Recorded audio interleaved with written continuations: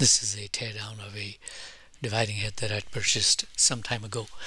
It is a Precision Matthews dividing head. It is a BS1 or Brown and Sharp 1 type of a dividing head. I'm going to start off by taking out the worm shaft. It's held in by a single screw. It takes in a 4mm key to open it and the housing for the worm shaft comes out pretty easily. It's a very tight, snug fit. The worm gear hub has a fair heft to it, and this is the worm shaft that I'm taking out right now. The worm itself has a fair amount of grease on it, and the shaft has got a spiral that runs along the length of it. The hub has an oiling port at the top uh, that I'm pressing right now, and that allows a drop of oil to go down onto the worm shaft and presumably as the worm shaft is turned it moves the oil along the shaft and keeps it lubricated inside the hub itself. Now this is the opening where the hub was residing and having taken that out you can actually see the worm gear in there. The inside of the casing also looks dirty to me like there's gunk, debris, dirty old I don't know what in there. Uh, so it'll be good to open it up and take a good look. Now I'm going to go ahead and remove the quick indexing plate. It is held in place with three cap screws that require a 3 millimeter Allen key to get out and they weren't torqued down too hard. It wasn't difficult to get them out.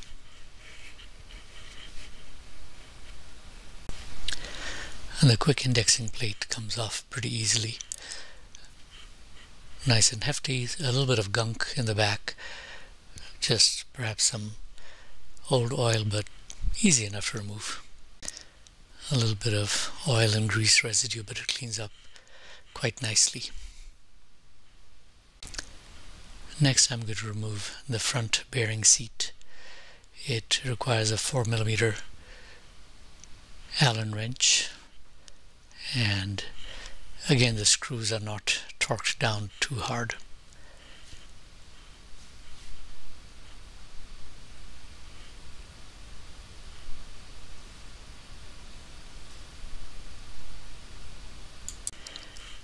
Next I'm going to remove the two clamping shafts. They're basically rods with uh, threading on both ends. One end takes regular nuts and uh, with a washer under them the other side is a bit more interesting. It has um, a brass washer that has had a section cut out of it. That, you will see in a moment, is what allows the brass washer to pull tight against the inside of the dovetail. And when you crank on these rods, the brass clamps against the dovetail and keeps the assembly from rotating in a horizontal axis. Next we'll look a little bit at how the backlash is adjusted between the worm and the worm gear. There is a screw in the front face that locks the backlash adjusting screw in place. So this screw is loosened and then this large screw on this side pushes up against the shaft carrying the worm and by pushing with a certain amount of tension it helps to control the backlash between the worm and the worm gear. Now with the screw loosened up uh, you can see that there's a ton of backlash uh, just wiggling the worm shaft back and forth uh, it's pretty easy to see that it's about maybe 70 80 degrees worth of backlash before the uh, spindle shaft starts to move at all. Now this is the retaining nut that holds the whole spindle in place. It has what appears to be a set screw needing a 3 millimeter wrench to keep it locked in place and it's just a cap screw and the spindle itself, or rather the nut itself, requires a spanner wrench. it was not torqued down crazy hard. It was relatively easy to loosen up and easy enough to make the whole thing come apart. Okay, taking the nut out, you can see a washer there and the needle bearing in the back. A fair amount of grease, but it doesn't look very ugly. The grease also makes the needle uh, bearings kind of stuck in there. So I'm trying to use a pick to get it out and it came out nicely. Now I'm going to push in the back and I am shocked. The whole assembly comes out really easily. It's got a ton of grease on it, but it wasn't hard to push it out at all. I did not have to hammer on it. There's a little bit of dark colored oil there, ton of grease. Um, the bearing spins surprisingly easily uh, despite the grease. It just spins without any trouble at all. Now to look inside and see what's actually going on in there. And I think you can see a little bit better that the inside was looking very dirty. Okay now I'm checking for burrs there seem to be some burrs along the front end and along the outer sides of the dovetails but the inside seems pretty smooth nothing sharp on the inside at all Alright, and the head does not want to come out of the dovetails. And there it just seems to kind of bang, uh, like there's something just jammed strictly in place. Next I'm going to try to remove various parts. Uh, I'm going to remove the pinion that drives the locking pin for the quick indexing plate. The pinion basically had no grease on it, but it doesn't rotate fast. Then I'm going to go ahead and remove the front bearing seat. It's a very nice, snug, tight fit, but with a gentle rocking action, it pulls out very smoothly. Now the back of the hub looks very nice and clean. It's smooth, no sharp edges uh, at all. And the head itself rolls very easily, uh, virtually no resistance, very smooth movement. Now this is a look at the rear bearing surface and you can see that there's a slit that runs along it and that is fed by oil from above. And still trying to get it out.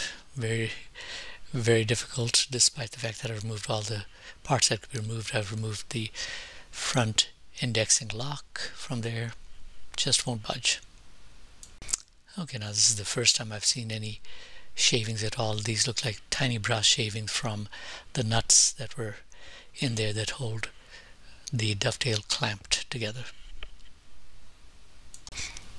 Okay, I got it off. It took uh, putting it on its side and a little bit of gentle rocking action, and that allowed the whole thing to come apart.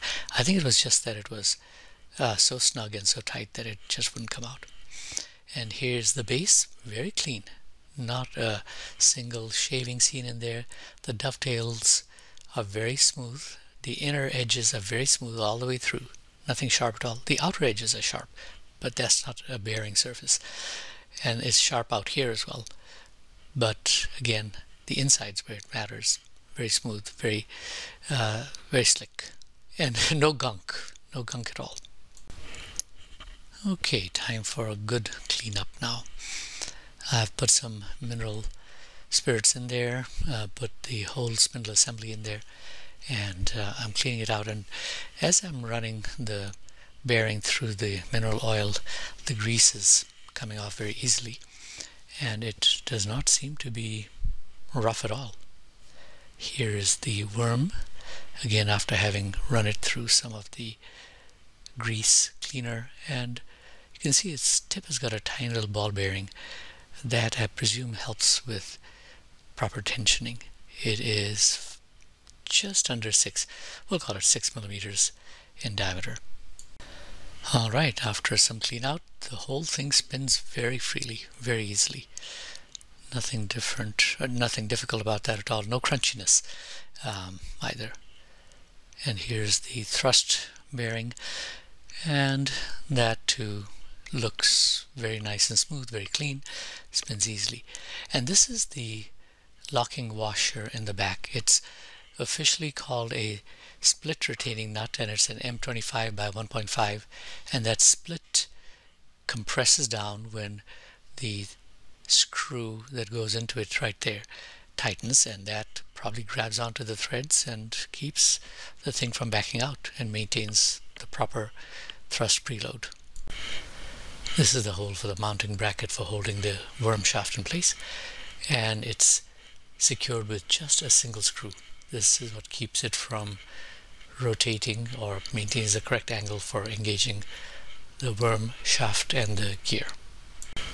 Well, thanks for watching. The next video will be about putting it all back together again, and I will be posting that uh, in the near future. Thank you.